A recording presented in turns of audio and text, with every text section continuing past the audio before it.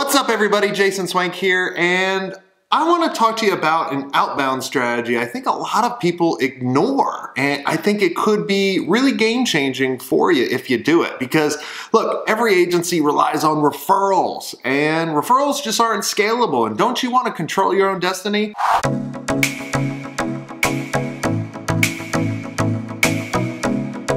So I was talking to one of my clients and we just came up with, you know, just chatting back and forth a strategy that I know is going to work for them and I know it will work for you. So let's go ahead and check it out. So no, no on outbound. Don't don't hire someone to just set up calls like an outbound company. Um, it would be fine to bring in a salesperson to do outbound appointments.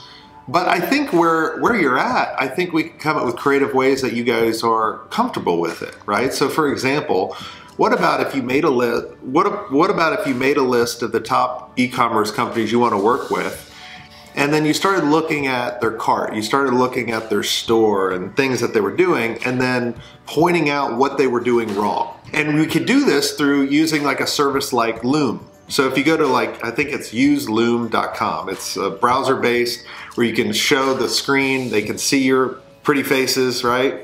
And then you can say, hey, I was checking out, I was checking out your website and I noticed an opportunity you may be missing.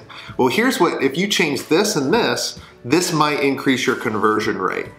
And just wanted to point that out to you. Oh, by the way, we're an agency that just specializes in e-commerce. And if you ever need anything or you want to know more and have us do a deeper dive, let us know. and click this link. But I just think if you did that, then you're reaching out to people, right?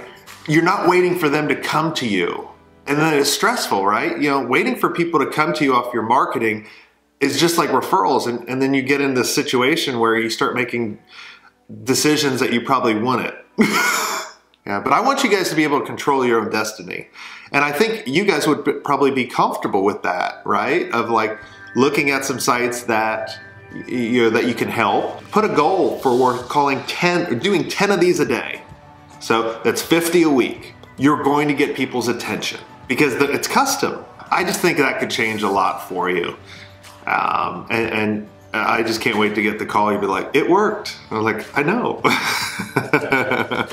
Are you going to implement this strategy for your business and really kind of put the control in your own hands versus depend on referrals that just are not scalable.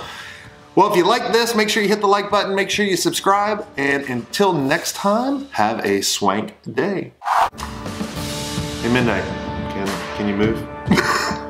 ah, come back, yeah. That's all right. You done? You sure?